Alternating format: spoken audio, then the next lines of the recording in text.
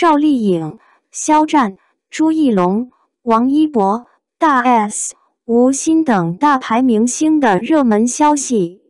赵丽颖、冯绍峰、朱一龙主演的热门电视剧《知否知否，应是绿肥红瘦》将于六月四日起在湖南卫视十点档重播，观众们可以再次欣赏到这部备受喜爱的剧集。同时，钟楚曦、张云龙主演的都市剧《最遥远的距离》已经获得了发行许可证，即将与观众见面。另外，腾讯计划翻拍仙侠剧《仙剑奇侠传三》，目前男主角暂定为周翊然。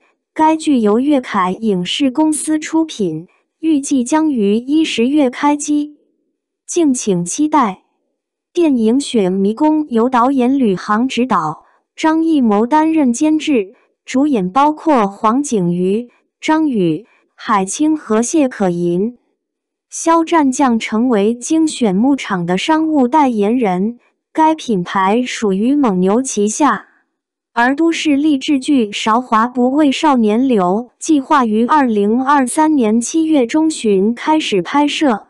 该剧根据丹书光光的同名原著改编，题材类型为都市励志，拍摄将在杭州和菏泽进行，拍摄周期为八十天。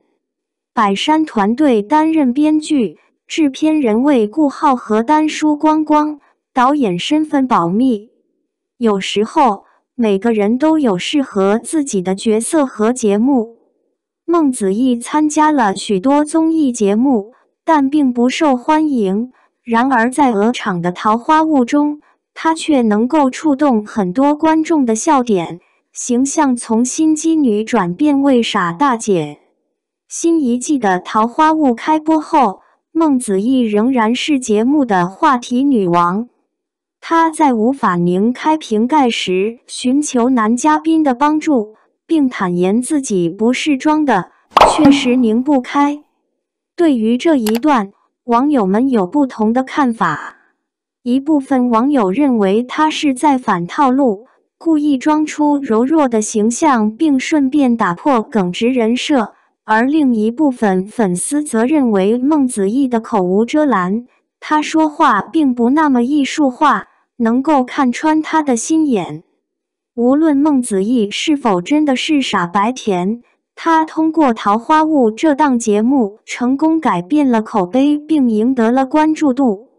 他成为了继宋丹丹之后能够撑起节目热度，并成为热搜词条的女嘉宾。在《桃花坞》的导演眼中，她也是性价比最高的嘉宾之一。因此，这个节目已经连续三季邀请孟子义参加。孟子义也乐于成为一个不断提供话题的嘉宾。每季导演邀请他，他都会参加。去年，朱一龙偶尔会阅读电视剧的剧本，有时候遇到好的剧本会心动。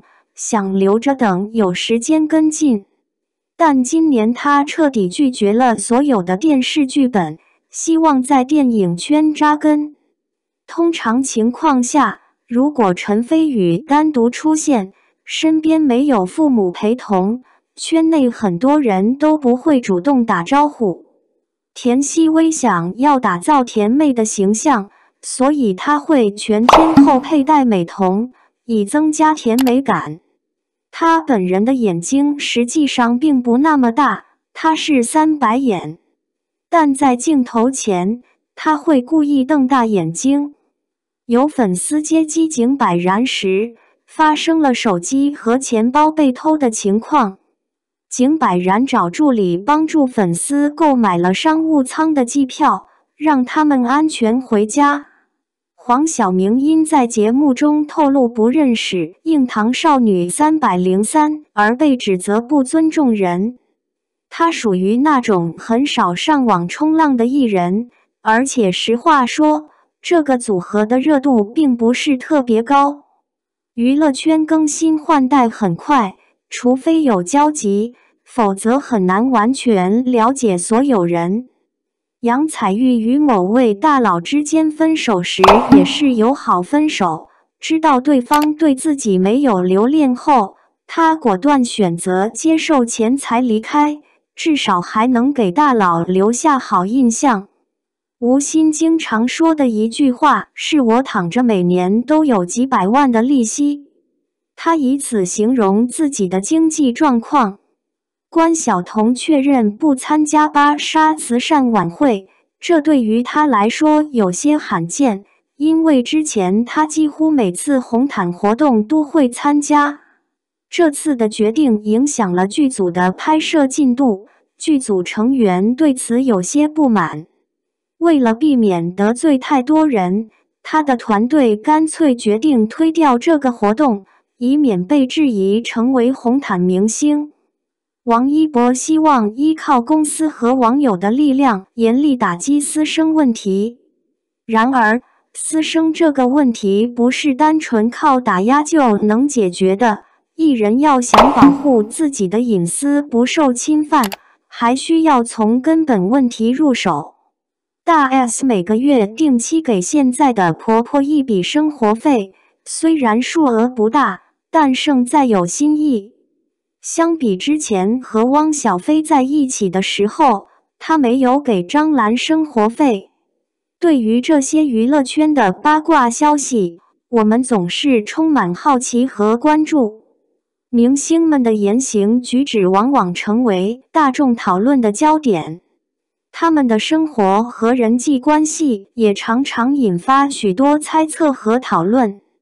然而，我们也要注意，在关注八卦的同时，给予明星们一定的隐私和尊重。毕竟，他们也是普通人，有着自己的喜怒哀乐。